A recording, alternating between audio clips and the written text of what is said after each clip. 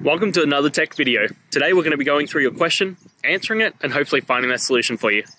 Guys, remember to stay a little bit crazy, like me, and hopefully get to that resolution. Now, let's continue on to that video.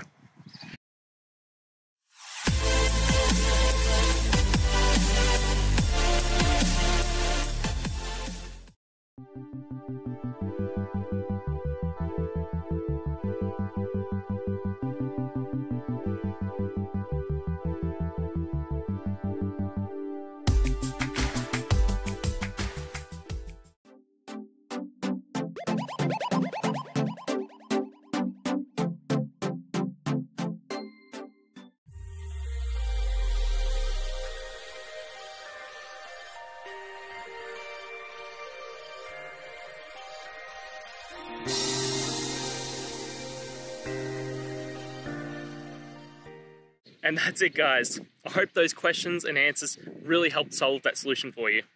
If it did, please hit subscribe. I'd really appreciate it. Now, until you need next technical video, I'll be here. Have a good one.